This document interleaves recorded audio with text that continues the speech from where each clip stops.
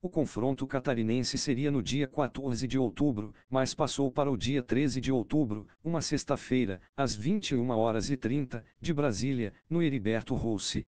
No turno da Série B, as equipes empataram em 1 a 1 na Arena Condá, com gols de Thiago Marques, para o Criciúma, e Neto, para a Chapecoense. Veja também.